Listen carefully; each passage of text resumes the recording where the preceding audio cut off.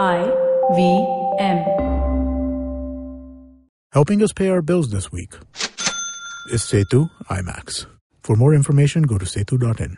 Welcome to episode 52 of Shunya One. We have a really interesting episode coming up with you with Saurabh Das, the director of Silverleaf Capital Services. Saurabh is one of the pioneers in India around artificial intelligence and all the rest of the things that come around with it. Uh, this is a really, really interesting conversation. We get really deeply into the entire spectrum of AI applications, from deep learning to machine learning to collaborative data. I think you'll really enjoy this. So we'll be back with Saurabh right after this. So, as somebody who listens to Shunya One, you're probably extremely tech savvy. As a tech savvy person, you probably look at screens all day. As somebody who looks at screens all day, your eyes are probably aching right now. If the eyes are aching right now, you probably want to check out our new sponsor, Setu Eye Max. Setu Eye Max is a modern health supplement which ensures your eyes stay protected as you enjoy all that screen time without any kind of strain to your eyes whatsoever.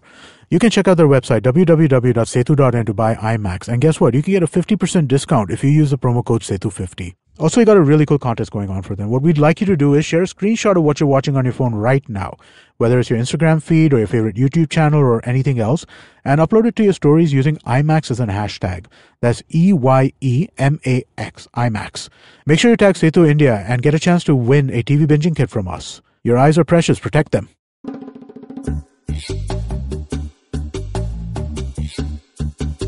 Hey, welcome to the show, guys. Today we have Saurabh Das, the director of Silverleaf Capital Services. Although, until recently, and I want to tell this story, you were known as the king and tyrant as your official formal position. So, welcome to the show, and please tell us how that worked out for you. Uh, hi guys, thanks for having me on. Um, I don't like to be called director of Silverleaf Capital, but uh, for house hunting reasons, uh, it has been changed, and we'll just leave it at that. Oh, my goodness. Um, the number of things people have had to do in Bombay for to house find hunting. a house, yeah. Yeah. Yeah. and um, yeah, so um, director. I mean, it, I don't care about it. It's it's it's just a title that unfortunately has to be used for these reasons. yep. But yeah, you've been a Bombay guy uh, all your life, and you've obviously done a bunch of stuff. Uh, you've you know IIT, IIM. You're you're basically uh, all the pedigree you can think of, and, and then you go you call yourself king and tyrant. Uh, so of course, when people were googling you, I'm sure they had a interesting uh, picture in their head. Uh, yeah, that's that's kind of right. Um, I never intended it to be used. It was just a kind of you know LinkedIn is new. I don't know what it does. Okay, whatever. Nice. and um, and it stuck and i never did end up changing it nice. so it, it just shows that you know we're not really serious about all these formal positions and stuff in our company and that's why i had left it for a while Mm-hmm. Okay. uh, I, ho- I should change it back i think But yeah. Now what- that you have the house, you might as well, right? Yeah exactly but okay, so tell us tell us your story so far and uh, how Silverleaf came to be. right so uh, silverleaf uh, we started in 2011 so it's been a while and we didn't have funding just a little bit of money from family so we've kind of bootstrapped into profitability over the last uh, few years Wow. and So- um, and yeah, it's it's it's slower, but it's definitely more rewarding and fulfilling.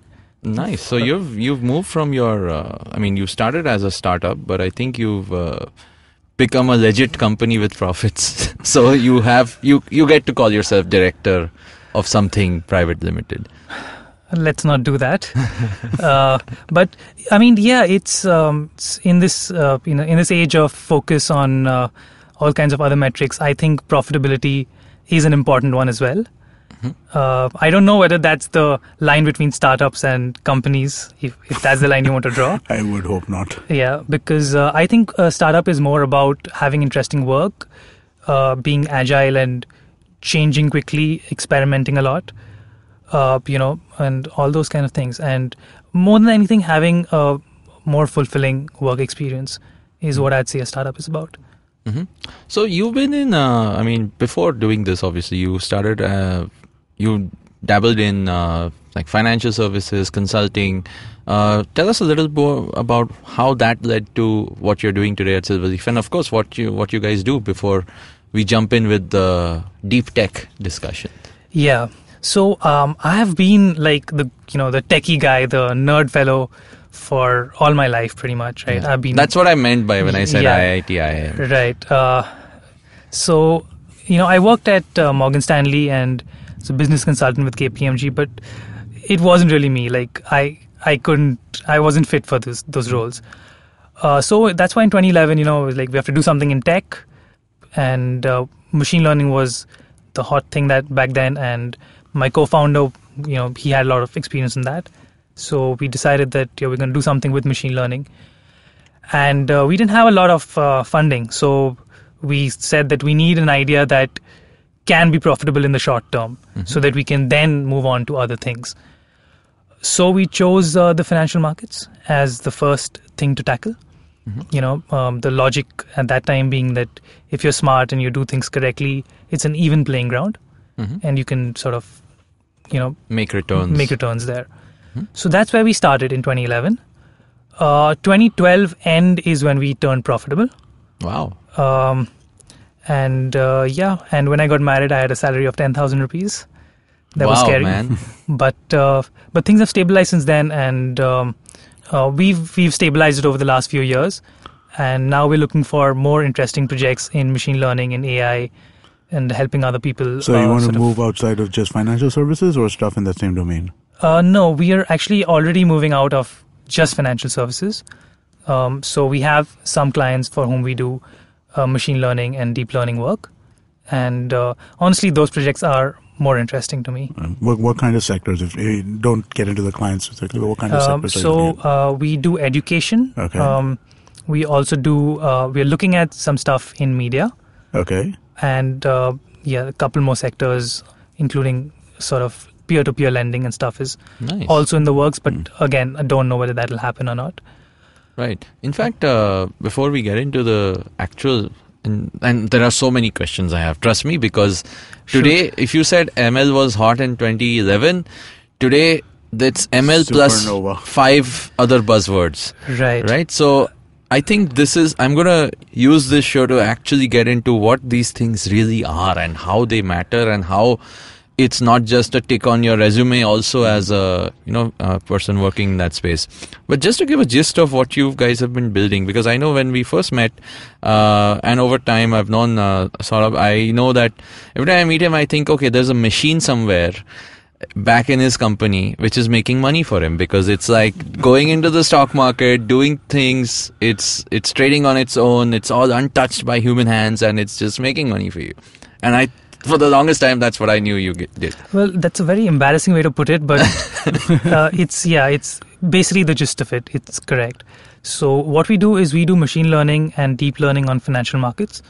So uh, we you know look at prices coming in, we see how they're changing, and computers make trades in accordance. And uh, of course, there are no like once it's trained up, there are no human hands sort of intervening in any way.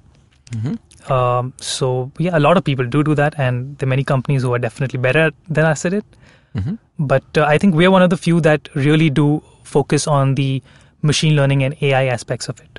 hmm and not just the al- I mean, this is algorithmic Yes, trading, right? So, not just sec- algorithmic trading, but we focus very much on the machine learning side of this game. And what does the tech behind all this uh, mean? I mean, obviously, it's a lot of science and math, but what is the tech? I mean, before we dig into understandings of that, what is the what's the hardware that you have to sort of build all this on? And I know you guys have again, especially given financial market context, you have to like.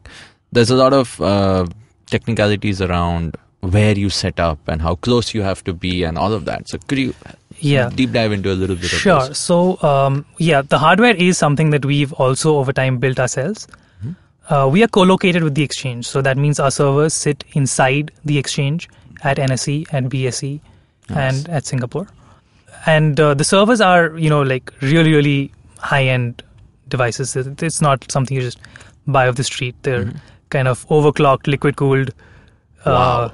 sort of, you know, very cutting-edge um, servers and uh, you know we also get into things like you know how do you optimize the operating system which is linux for everything Right. to to make things better and all that stuff uh, off late we've also had to put graphics cards into our servers because uh, we have now started you know using uh, deep learning and more of the more recent AI techniques which you know sort of uh, benefit from having Oh, really? yeah, I mean, beyond just the core uh, CPU, you use the GPU for something yes, else? we use the GPU for heavy processing of uh, sort of numbers and floating point numbers. Yeah.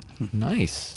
So you know what? Uh, maybe before we get into that, can you give like an overview of what machine learning is in the context of financial markets? Right? I mean, like what what what, what is the kind of uh, like how would you kind of make how, how would you explain it to somebody who does not have any?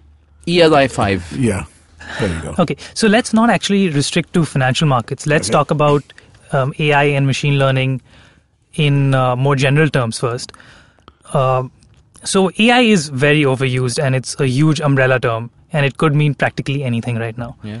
So, um, so I don't use AI except for when I'm like you know sort of just talking globe, Okay. right? So, uh, but yeah, when when when somebody says AI, uh, you could mean something like smart like a human, which uh, academicians call AGI or artificial general intelligence, or you could just mean you know the computer does something smart that's AI, which is also a very valid use of the wo- term. So to differentiate between them, we have machine learning in the middle. You know, there's statistics and statistics related stuff, which is simpler than that. A little more complicated than machine learning. You have deep learning. A little more complicated. You have something called reinforcement learning, mm-hmm. right? And you know, far far away from this is AGI, which is still far away for us. I have not heard that one yet. That's uh, AGI is like uh, HAL, right? HAL 2000. Yes, exactly. That's like the best example you can you can come up of what is AGI. Right. Wow, man. So again, these are still like you just. I mean, there's a lot of uh, elaborations to each of these. yeah, so let's so let's get into that, right? Yes. Yeah. Let's. So machine learning basically means um, sort of using a large volume of data, and instead of a person kind of combing through it and trying to figure out something that's appropriate for one bunch of users or another bunch of users, you sort of leave it to a learning algorithm to discover what works for you know groups of users, and the end case of that, which is what you see a lot of nowadays, is that you're able to personalize at a user level. So, uh, you know, something like collaborative filtering, which was which is made extremely popular by Netflix and Amazon to for their recommendation. So when you go to Amazon and you see other people also like or other, also purchased those things, things, and yeah. they tend to be very relevant. That is a machine learn- learning algorithm doing it. Mm-hmm. And Netflix is famous, right? Like Right. they really killed it with their machine learning algorithm. That's why you watch Netflix, Netflix all the time. It's because they they know what you've seen, and they can make such good recommendations of what you like from their giant library of thousands of titles. They had some sort of contest, right? That if you could improve the performance of the algorithm by like some percentage points, Yes. it's like a million dollar bounty or something like that. Yes, they did have a very famous competition uh, to do this, uh, where they basically said, "Here's a huge, um, you know, anonymized set of interactions that happened on Netflix. Uh, if you can improve our current recommendation by ten percent or something, uh, you know, you win and you get accolades and, and stuff." And a lot of people did that, and uh, that was sort of uh, where they also, you know, publicized a lot of how it works behind the scenes for them. And so a lot of our work as well is inspired from from the kind of stuff they did right?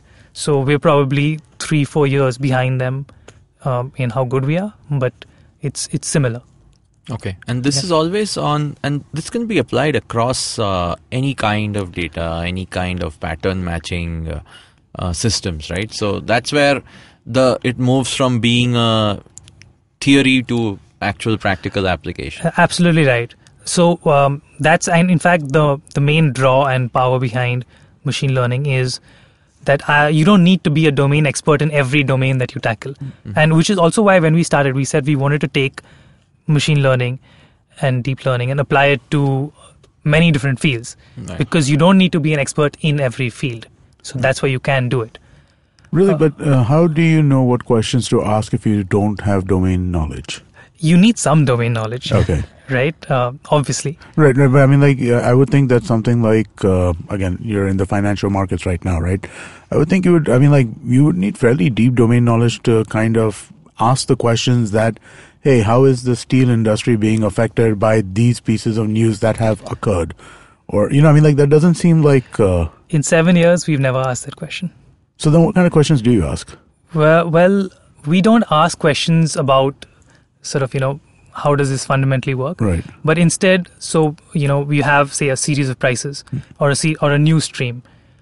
You let, um, you know, a learning algorithm digest all of that and make a recommendation.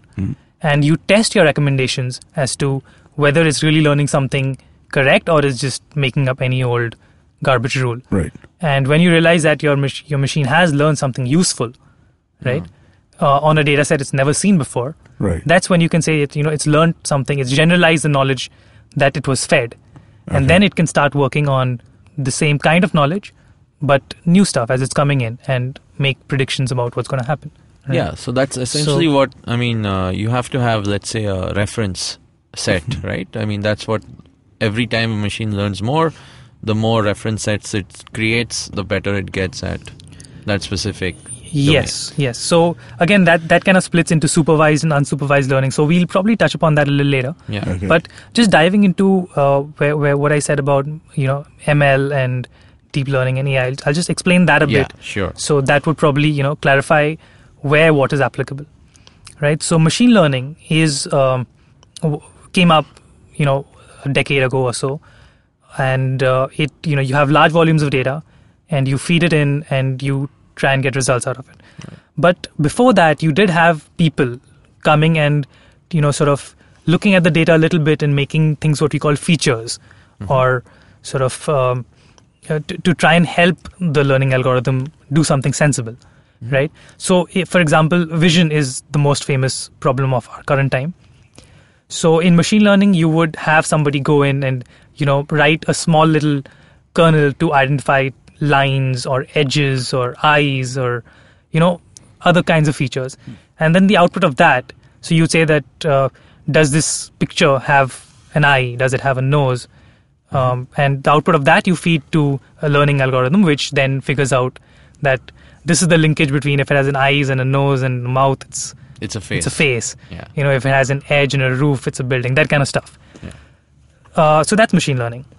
Uh, the next step was deep learning, where you don't do the first step, and instead you just feed the entire image to a learning algorithm, and uh, you know tell it to figure out what it is, and that needs more data, much more data, to reach the same level of uh, accuracy. Right. But if you f- feed it even more data, it gets better and better. Right. So in ML, um, after a certain amount of data, the increase in you know accuracy flatlines. right. Deep learning gets better than that. So in in in vision, um, the state of the art is now as good as human vision in identifying objects in pictures. And that's uh, that's why like all these cars and self-driving cars and stuff like that is Yes. actually becoming productized because Yes. the underlying tech can achieve that level of accuracy. Yes. So, for example, Google Maps actually is are the guys who've hit this out of the park. Mm-hmm. They recognize addresses written on houses using hmm. deep learning, Right. you know, Yeah. and that's phenomenal. And they've done a lot of work here, and they- they're the best at it in the world right now. Yeah, and they have Right. huge sets of data, so Yes. no no wonder. Yes, so, so that's deep learning, where you just take the raw information, maybe process it a little bit, but not much, and let let something figure it out. And how is it fundamentally different? I mean, the underlying science of approach is different, and that's what makes it different. The approaches actually are surprisingly similar. Mhm. Uh, what has changed is so, for example, in machine learning, if you use a neural net approach, you might have one or two layers of neurons, you know, each of a certain size, to give you an output. In deep learning, you will have like seven, eight layers, ten layers, even hundred layers, Okay. right? So much bigger spaces to learn on, Okay. right? So you're expecting the computer to do a lot more work, Mm-hmm. but you're also giving it a lot more flexibility because you have much bigger, a much bigger search space. space. Interesting. All Right. right. I mean, So, so I'm what? ask what a neuron is exactly. yeah, exactly. yeah. yeah. So I mean, it is what you think. You know, it is inspired from a biological neuron. It's Right. just something that fires a plus on a certain condition, Right. right? and of course there's a mathematical form of it which is very convenient to use uh, you know a reduced mathematical form which is used in all kinds of uh, deep learning. So deep learning is mostly neural networks. Right? Machine learning is neural networks but a lot of other techniques as well. Right?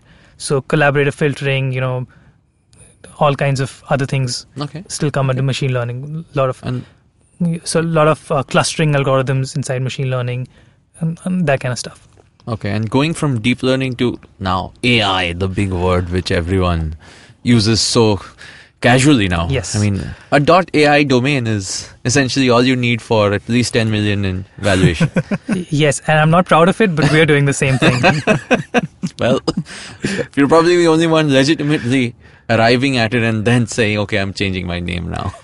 Yes i mean we are changing our name to ai after having done ai work so in that Right. way i guess we've earned it Right. but i mean that's all right But but then what is what is it? all right so um, now um, so now you have deep learning which does all these fancy things um, ai when people use it in this in, in the startup context is something which is a mix of machine learning deep learning and a lot of sort of hard work to make it seem like the computer is doing magic right?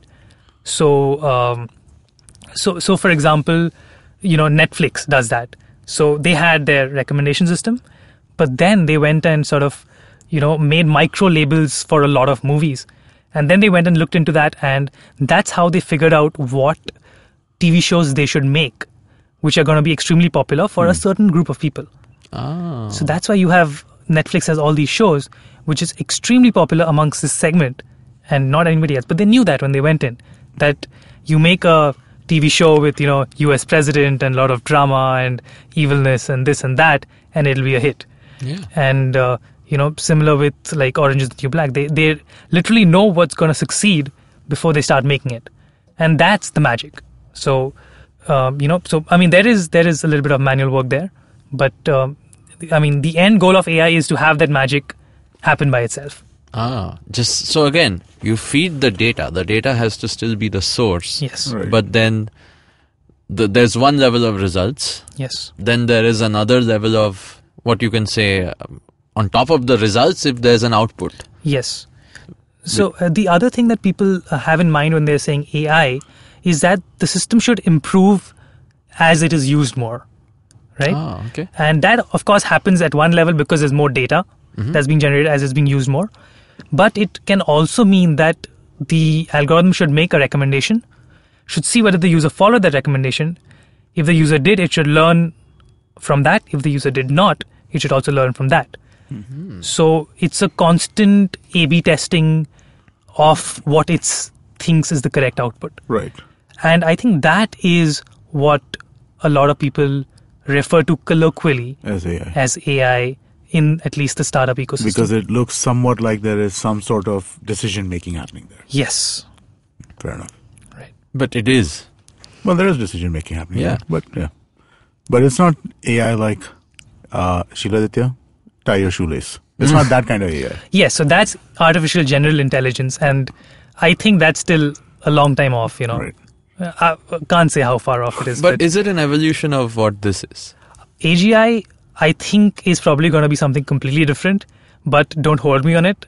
Nobody knows at this point in time. It's not just a faster and more superior version of what AI is today. No, AI today is a bunch of tricks that gives useful results.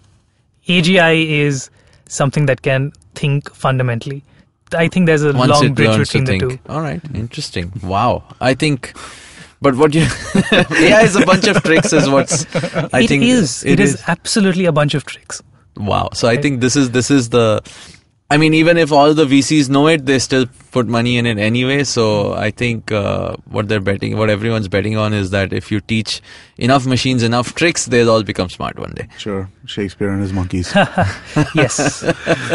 Nice. Okay. On that on that note, we're gonna take a quick break, come back, and go a little more deep dive into each of these things. Did I just catch you on your way to work? Or did you end up pulling an all nighter? Let me guess. You have a packed schedule for the day, the week, and probably the month and the year.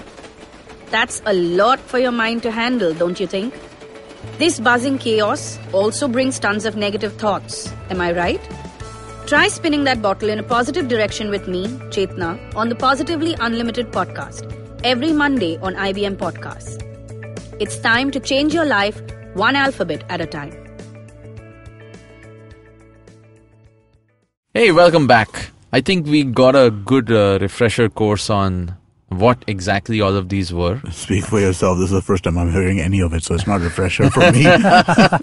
but I think I think all, all the buzzwords we've heard in uh, or seen uh, in uh, whether it's been in a presentation or whether it's been on in an ad or in the paper. I think this is the first time I've actually understood. yeah, exactly. Some clarity around what people are talking Yeah, about. Yeah. But there's still uh, what I want to get into is now everyone talks about AI. Everyone puts beyond the domain name, right? Everyone says there's a level of AI in what we do because uh, apparently it's that easy uh, to become uh, to add AI to everything, right? But what is it really? And the stuff we see around us, how much of it is really AI? How much of it is not? Uh, things like obviously maybe the stuff which a Google Home or Alexa does, to what Netflix does, to AI chatbots, to like everyone says it's AI. So what really is? What really isn't? Okay, that's a really difficult question to get to because uh, you know you're not justified in claiming a lot of things are AI. It's just that uh, you're saying it's AI at a very low threshold, but uh, what you're trying to portray is that it's AI at a much greater thing, right? So AI So- is some sort of spectrum. It's not. it is a spectrum Right. yes so e- even basic statistics can you know be sold as ai and you maybe you're justified at a certain extent if if using basic statistics you get a huge boost to something you're doing uh, sure i mean that works what works works uh, but having said that yes people do overmarket the ai term like crazy it's everywhere and which also means that it's nowhere i mean it doesn't mean anything anymore so, um, so as you said, you know, Google Home, Alexa, are those AI? Well, the part that does voice recognition is definitely very hardcore AI. Right. Right. That is uh, like voice recognition with along with video uh, image Vision, recognition yeah. has uh, improved a lot over the last few years, and it is because of deep learning techniques being applied to them, right? So that's definitely AI. The part after that, where they're like, okay, you know what, play me a song, Right. and it plays you a song. That's a large set of rules that people or crowdsourced set of rules that has been made, skills as they call it. Right. Is that AI? Well, that's that's a gray area, right? It Really? can be considered AI because at the end of the day, you ask it a question or you tell it to do something and it does something, Right. right? So in that sense, it is AI.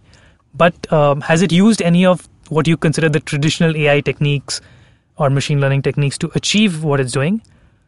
No, to a certain extent. So it's kind of like, um, in some ways, you know, I mean, like demoware.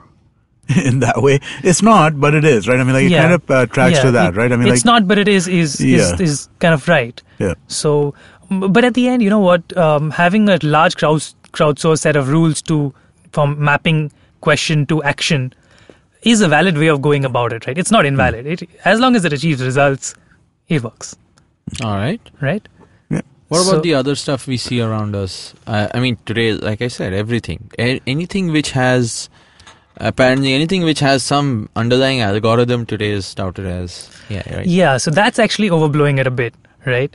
So, um, you know, for example, uh, you know, a portal which lists homes, saying that we use AI to, you know, identify which house you should look at.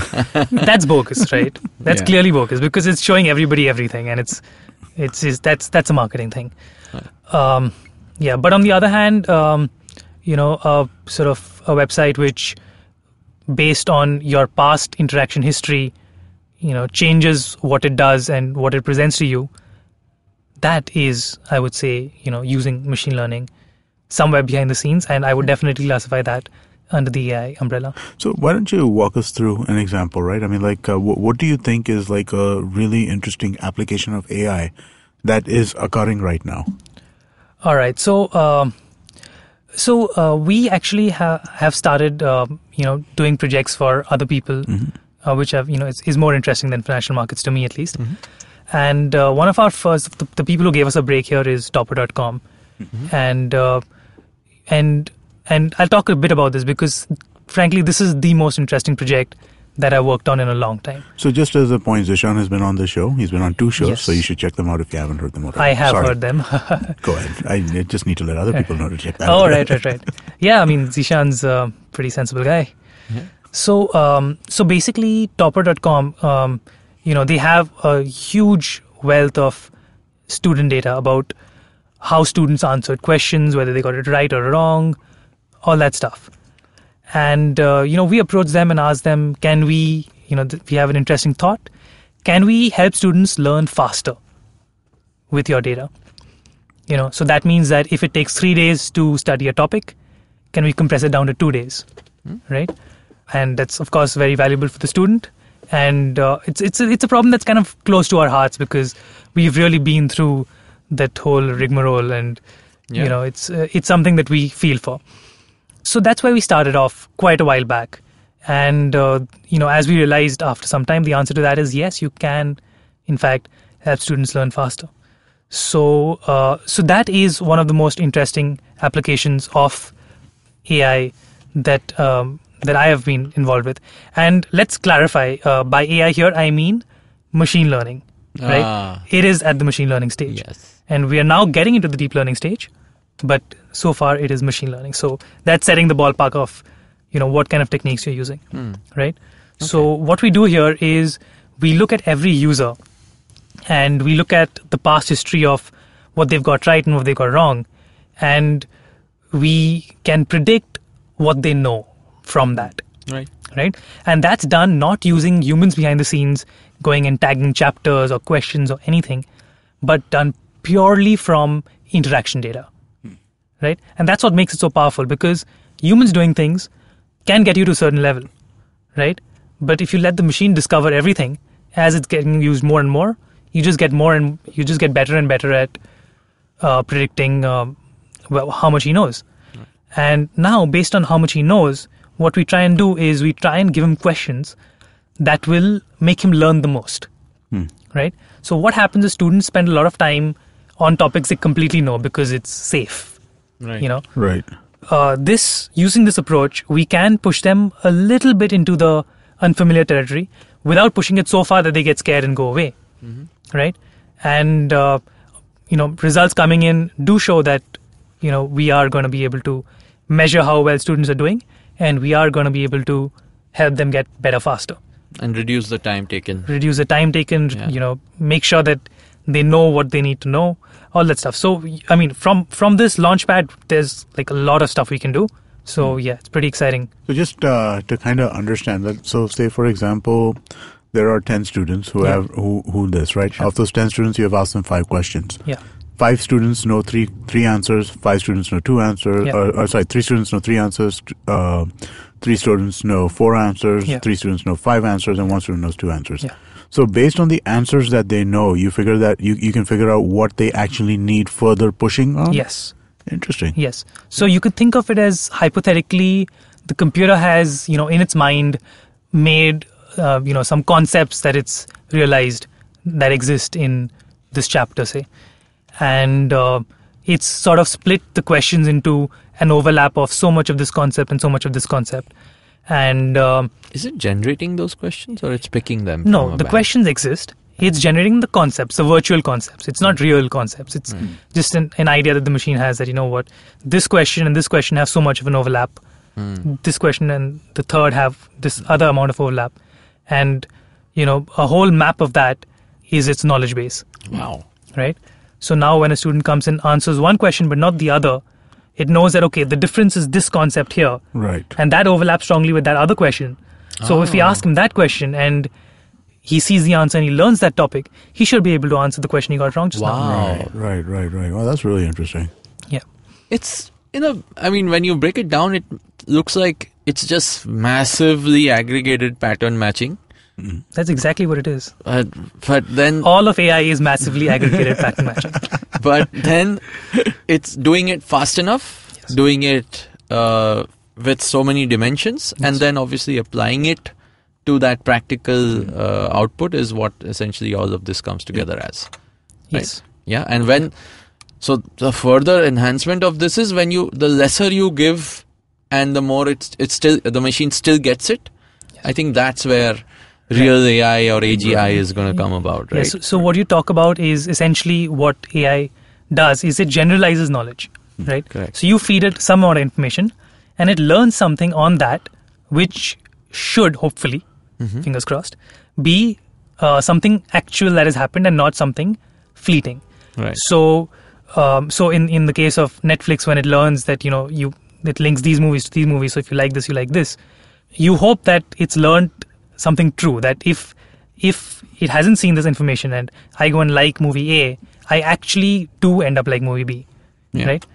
Uh, so that's that's exactly what all of AI does. It just generalizes knowledge so that it can be applied to um, a data point which is, it has not seen before Correct. right?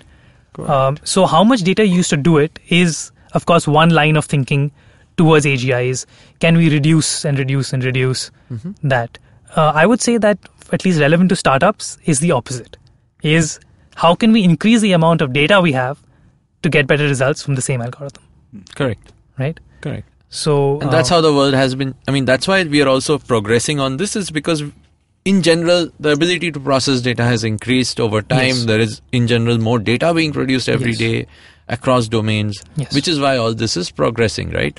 I, I remember we uh, wanted to touch upon one thing which I think started all this about talk about AI, which is a Turing test. right. So I'm sure a lot of folks have heard about it, but Yes. let wh- what's the definition and how does it work in the real life today? Sure. So let me give a colloquial definition of the Turing test.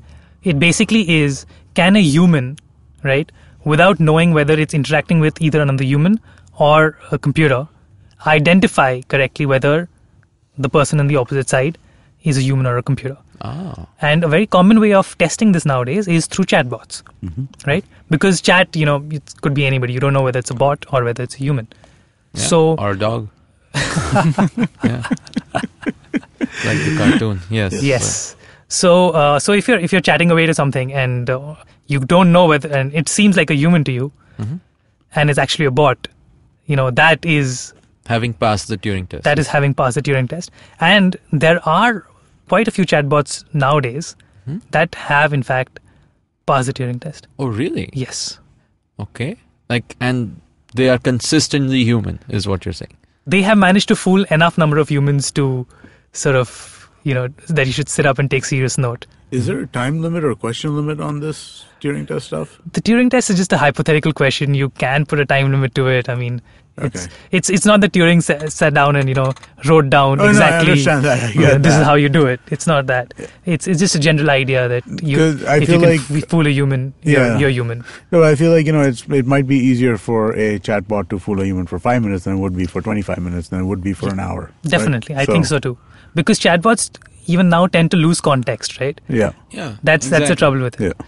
So, but but That's the, my but- biggest pet Yeah. peeve with like any like Siri or Alexa or even Google. Huh. uh, they Yes. all lose start to lose context so yes, soon. Yeah. yes, Uh, but it seems like such an easy thing to do. yeah, but it's difficult. but why? Why is context? In fact, since you touched upon, why is context so difficult? uh, because you know uh, when I when I say something to you, um, there's a lot that you've already assumed, right? Including a background of us, our entire history, the city, the world, how the world works, all that kind of stuff is in your head, Right. right? Um, and uh, it could be completely different depending on you know the situation. Uh, how do you get all that into a bot? As of now, we don't have any good way of of saying. So you know, I go and ask you, "How was your 50th episode? Uh, was was that fun?" And you're like, "Yeah," and you know immediately what what I'm talking about, right? Right. But episode 50 could mean anything if you Google for it, That's true. right? Yeah. That's So- true. But it knows who it's talking to. It knows who. Yes. and So, that's that's still difficult, But right? it needs Like, to parse the grammar. or or if I ask you, you know, did you watch Avengers? Uh-huh. Right. I mean, yeah, the computer could probably guess we that. should end this uh, conversation No right here spoilers. because no spoilers. no spoilers. No spoilers. because Saurabh has. Oh, okay. All right. yeah, I go tomorrow. No spoilers Yeah. today. All right, no spoilers. I'm not talking about it, but Yeah. but just saying, right? Like you know that it's the Avengers movie that released yesterday, Yeah. and not the one that released a year ago. Right. Ah, well, context I think is still in the world of having solved so many other things. Context is this one big looming problem on all AIs. Uh, it'll be interesting to see when Yes. that actually comes about. There was actually one more since we are doing buzzwords today, and since this is like we've gotten into the thick of things. Food tech. Sorry. what what else? Uh, a lot of this stuff, right? And um, whether it's ML, like you said, it's been Mm-hmm. around for a decade. It's only getting better because, like we acknowledge, processing is getting better, data is getting bigger. Yeah. But there's a lot of other stuff which has been around for ages, which all sort of tie into this umbrella. Yes, There was big data, yes, and there are still people selling big data as a Yes. serve. I mean, as as something, and there are a whole bunch of these. So yes. how how different are all of these or is it all becoming one science and one tech skill now like tomorrow the folks you hire today right the data scientists who work with you and the techies who work with you Yeah. how does this or how do these concepts translate into real skills and which of these are still around or even relevant Yeah. So, you know, they've always been part of a very large spectrum, and there's no clear boundary between big data and ML and stuff. But okay, having if, if you ask me to classify big data, it sits between statistics and machine learning, right? Okay. Where you use a lot of data comparable to machine learning, but the kind of inferences you draw are more statistical in nature, and uh, it's more analytical rather than you know just get me a result machine driven, and you know, so you're much more confident that what you've done is correct in big data. It's Uh, more directed, would you say, than something like it is defi- definitely Yeah. more directed by a human, by a Right. person analyzing the whole thing, okay right? And uh, honestly, I think the skill set is very similar across all of this. It's a question of knowledge and learning. So, somebody who can do big data, I'm sure he or she can definitely do machine learning and AI if they're given the chance to learn and you know play around with it.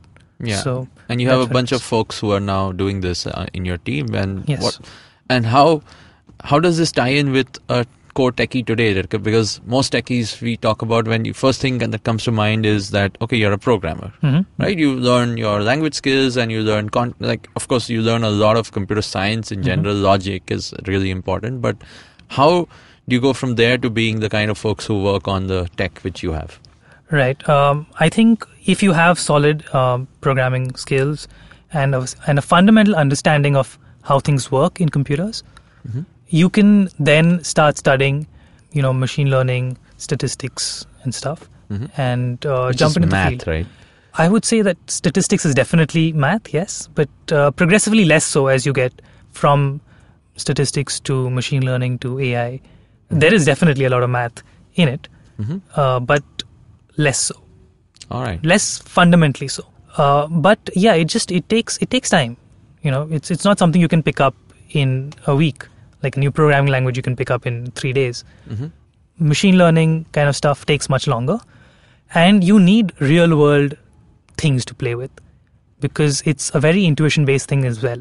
I mean, yes, there's a lot of theory and concepts, but applying it to the real world needs you to have an intuition of how systems behave and how data behaves and looking at the data and all that kind of stuff. So you need What- to start what's, getting what's used the to that. hello world of ml Oh, that's a very interesting question.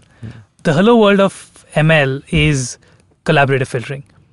Uh, it is the Netflix problem, where uh, you go to Netflix, uh, you Google the Netflix challenge, which is what Amit spoke about, and um, you get that data set, which is, you know, this user saw this movie and rated it so much, and a huge list of that, and you take it and you try and make your uh, machine learn part of the data set, and you keep some of it blind. You don't expose it to the training part, and then you try and see whether it can make a prediction about user movie pairs, whether the, he would have rated it highly or lowly. nice So that is the hello world of Very Machine cool. learning. In fact, uh, and since we touch upon the fact about hiring and how tech in general is uh, getting, obviously, uh, there are more and more techies in the country, but Bombay uh, versus Bangalore and the kind of culture, and we're seeing uh, you're sitting here in Bombay building a deeper tech company where you need not just basic techies and coders, but people who are like cream of their crop and Yes. really interested in doing a lot more. So, how have you seen uh, the market for this, and you think uh, more and more uh, techies should get into this kind of stuff? All right. So uh, two questions there. One is, uh, you know, what kind of people are needed for this kind of work, and the second is, uh, should techies learn this? The easy one is, should techies learn it? Yes, because you know, from a personal point of view, for a techie, that's where the interesting problems lie. And that's where they get paid more, to be honest. Right? so, uh, so, so for an individual, that's an easy Right. you know answer to give uh, coming to the first one what kind of people uh, what kind of skills do you need so you know it's it's there's no hard and fast and the way we work is we give people a lot of time to come in and learn uh, because you know while it's good to um, know as much as you you can before coming in a lot of it is built up working with a real problem so you know we don't we don't look for people with um, prior skills before before joining. We just need them to be smart kids and uh, interested in learning. That's that's what you need. Interesting. Let's hope. Uh, we coming get to the Bombay more. question, Yeah. Yes. uh, well, uh, I feel that if you're looking for a few very good techies, Bombay is a great place. If you're looking for many, you know, average kind of techies, then Hyderabad and Bangalore definitely better, right? Uh, uh, you do have to pay a lot more in Bombay, but uh, you get the quality sometimes. Nice. Interesting. Cool. All right. Thanks so much for doing this, Saurabh. I mean, where do people get in touch with you on? Uh, I think you're on Twitter.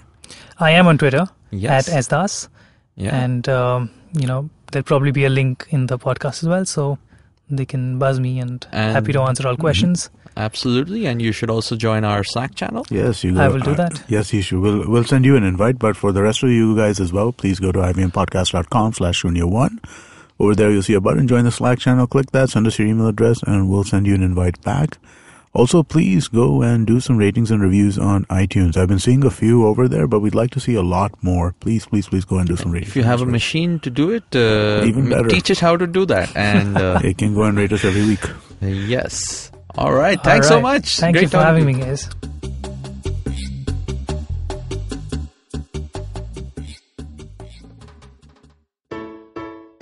Believe it or not, you stare at digital screens for six hours every single day. This makes your eyes age faster than the rest of your body. You're staring at screens as you're browsing through your Instagram or reading an ebook or even making a business proposal. What if your eyes could go to a natural spa and rejuvenate themselves? Made with the best ingredients sourced from nature, Setu Eye Max is a modern health supplement that protects and rejuvenates your eyes from all that strain from digital screens. Setu Eye Max is enriched with carotenoids like lutein and zeaxanthin, making it the perfect nutritional filter for the digital age. Check out www.setu.in to buy Eye Max, and you can get up to 50% off if you use the promo code SETU50. Also, head to the Instagram page where we have a contest running for you. Share a screenshot of what you're watching on your phone right now, whether it's your Instagram feed or your favorite YouTube channel or anything else, and upload it to your stories using Eye Max as a hashtag. That's I Y E M A X. Also, make sure you tag Setu India, and we'll give you a chance to win a TV binging kit from us. Protect your eyes, or rather, screenproof them.